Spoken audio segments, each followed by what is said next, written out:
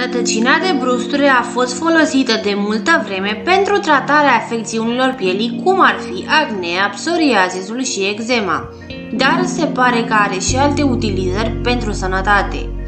Brusturele este o plantă din familia Asteraceae, original din zonele temperate, care în vechime era utilizat ca legumă. În prezent, brusturele este folosit în alimentație mai mult în bucătăriile japoneze și coreene. Rădăcina de brusture bogată în magneziu, calciu și fosfor a fost folosită în trecut ca remediu popular pentru digestie, pe poze diuretic sau de afrodiziac, iar în prezent, cercetările arată că poate avea unele beneficii pentru sănătate. Hei, dacă ești nou aici, nu uita să te abonezi și să apeși clopoțelul pentru a primi notificări cu cele mai noi videoclipuri. Haideți să începem cu beneficiile rădăcinii de brusture. Brusturile conține uleiuri precum și compuși numiți taninuri și sterol vegetal. Medicii nu știu exact care dintre componentele plantei oferă beneficii pentru sănătate, motiv pentru care majoritatea cercetărilor se referă la rădăcina de brusture ca la un întreg și nu la un element specific din rădăcină. Brusturile poate fi considerat o buriană în unele părți ale lumii datorită capacității sale de a se răspândi, dar planta a fost folosită de secole ca remediu pentru o gamă largă de afecțiuni.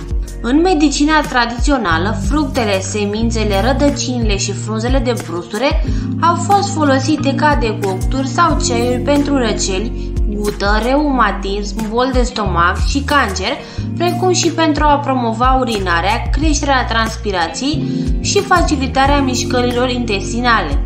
De asemenea, a fost promovat ca afrodiziac. Rădăcina de brusture poate fi utilă în osteoartrită. Rădăcina de brusture conține mai multe tipuri de antioxidanți puternici, inclusiv quercetină, luteolină și acizi fenolici. Antioxidanții protejează celulele din corp de daunele cauzate de radicali liberi și pot ajuta la tratarea și prevenirea mai multor probleme de sănătate. Acțiunea antioxidantă ajută la reducerea inflamației. Un studiu din 2014 a constatat că rădăcina de brusture a redus marcării inflamatori din sânge la pacienții cu osteoartrită. Rădăcina de brusture poate purifica sângele. Una dintre cele mai frecvente utilizări tradiționale pentru rădăcina de brusture a fost purificarea sângelui. Dovezile recente sugerează că rădăcina de brusture poate elimina toxinele din sânge. Un studiu din 2011 a constatat că rădăcina de brusture poate detoxifica eficient sângele și de asemenea favorizează circulația sanguină. Poate contribui la reglarea glicemiei. Unele cercetări pe animale au constatat că rădăcina aceasta ar putea preveni creșterea glicemiei și deci ar putea fi utilă diabeticilor. Într-un studiu recent al efectelor rădăcinii de brusture la șoareci, cercetătorii nu au găsit beneficii asociate cu consumul rădăcinii brute de brusture, dar rădăcina fermentată le-a adus scăderi semnificative a zahărului din sânge. Contribuie la tratarea problemelor pielii. Rădăcina de brusture a fost folosită de mult timp pentru tratarea afecțiunilor pielii, cum ar fi acnea, psoriazisul și eczema.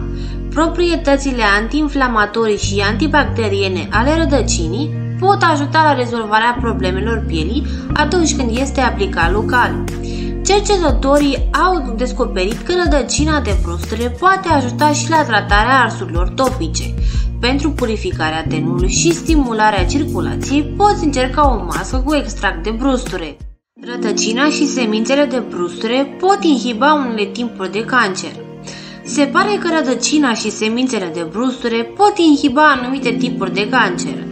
Un studiu din 2011 a constatat că semințele de brusture au avut efecte inhibitoare puternice asupra creșterii tumorilor cauzate de cancere precum carcinomul pancreatic.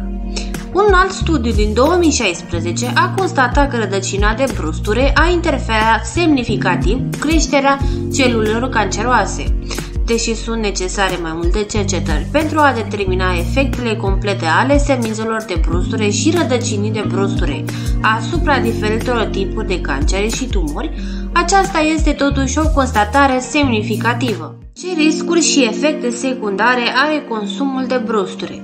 Există cercetări limitate cu privire la utilizările pediatrice ale rădăcinii de brusture, iar siguranța acesteia nu a fost studiată la copii.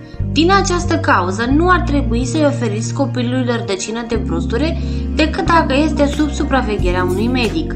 Unele riscuri potențiale ale brusturei includ următoare. Brusturele este considerat a fi sigur pentru consum, dar ar trebui să-l cumperi numai de la vânzători acreditați și să nu îl colectezi niciodată în sălbăticie.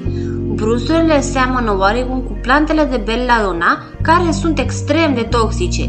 De multe ori acestea cresc împreună cu brusturi, astfel încât, pentru o persoană necunoscătoare, poate părea că e vorba de aceeași plantă. Dacă iei suplimente cu brusture, respectă dozele indicate pe ambalaj. Sunt necesare mai multe cercetări pentru a stabili clar siguranța acestor suplimente. Rădăcina de brusture este un diuretic natural, deci nu ar trebui să o consumi dacă ești deshidratat.